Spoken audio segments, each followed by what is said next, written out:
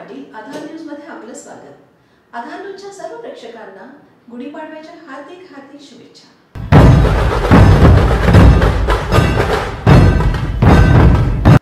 नव्या वर्षाचा पहिला दिवस म्हणजे गुढीपाडवा. हा दिवस साडेतीन मुहूर्तांपैकी एक असल्यामुळे या दिवशी नवनवे संकल्प केले जातात. तसेच खरेदीसाठी लोकांची बाजारात गर्दी पाहायला मिळते. गुढीला धर्मशास्त्रात ब्रह्मध्वज म्हटले जाते. गुढी उभारण्याचा पाडवा म्हणून त्याला गुढीपाडवा म्हणतात. ही गुढी घरातील वडीलधाऱ्या माणसांनी उभारायची असते. वेळूची काठी स्वच्छ धुवून तिच्या टोकास तांबडे रेशमी वस्त्र आणि फुलांची माळ बांधतात.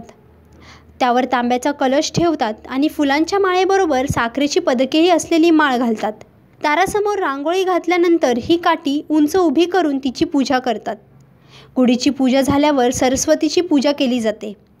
यानंतर कडुलिंबाचा पाला गूळ खोबरं एकत्र करून प्रसाद तयार केला जातो. या विधीला निम्मभक्षण म्हणतात.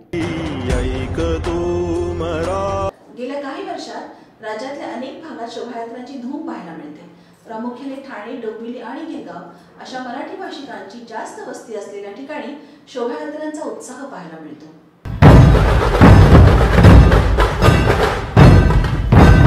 गुढीपाडवा म्हणजे शोभायात्रा. हे समीकरण अनेक वर्षापासून राज्यात दिसून येत आहे. दरवर्षी या शोभायात्रेत स्त्रियांचा मराठमोळा साज पाहायला मिळतोय.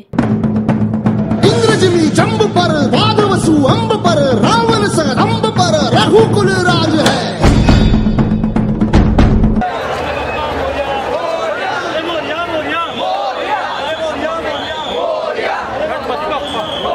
या शोभायात्रेत लहानांपासून मोठ्यापर्यंत पारंपरिक वस्त्रे परिधान करून सहभाग घेतात.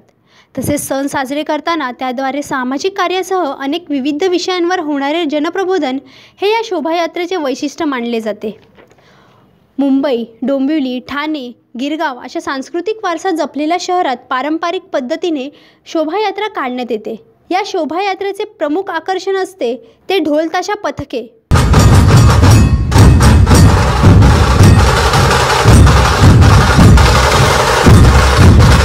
या ढोलताशाच्या गजरात उपस्थितांचे पाऊल आपोआप थिरकतात.